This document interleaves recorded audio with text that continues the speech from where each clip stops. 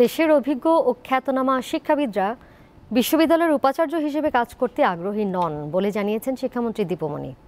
দুপুরে জাতীয় সংসদে তিনি এ কথা জানান। এ সময় জাতীয় পার্টির মহাসচিব মুজিবুল হক চুন্নু এবং বিএনপির হারুনুর রশিদ উপাচার্যদের নানা অনিয়ম ও দুর্নীতির তীব্র সমালোচনা করেন। পরে শিক্ষামন্ত্রী জানান, কয়েকটি বিশ্ববিদ্যালয়ের উপাচার্যের কার্যকলাপ নিয়ে সমালোচনা আছে। তবে ঢালাওভাবে দেশের সব বিশ্ববিদ্যালয়ের উপাচার্যদের নিয়ে এমন মন্তব্য সমীচীন নয়। পরে পিরোজপুরে বঙ্গবন্ধু শেখ মুজিবুর রহমান বিজ্ঞান ও প্রযুক্তি বিশ্ববিদ্যালয় বিল জাতীয় সংসদে পাশ হয়।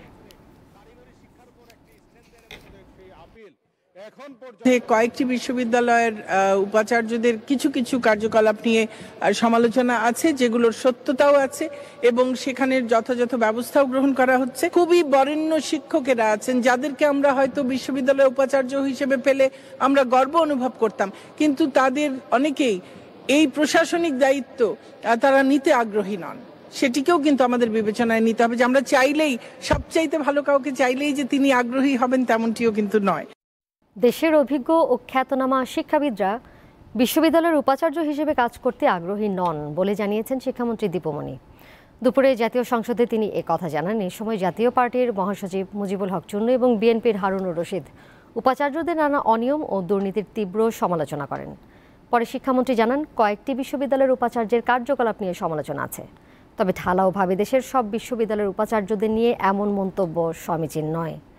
পরে পিরোজপুরে বঙ্গবন্ধু শেখ মুজিবুর রহমান বিজ্ঞান ও প্রযুক্তি বিশ্ববিদ্যালয় বিল জাতীয় সংসদে পাশ হয়।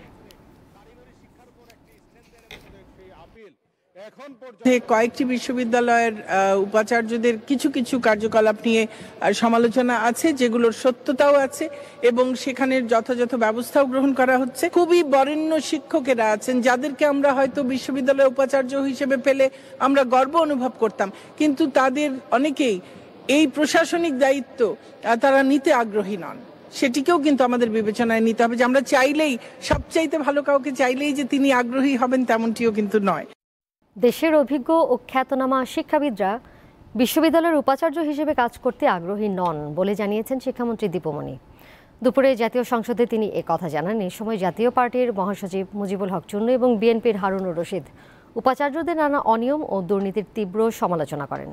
পরে শিক্ষামন্ত্রী জানান, কয়েকটি বিশ্ববিদ্যালয়ের উপাচার্যের কার্যকলাপ নিয়ে সমালোচনা আছে।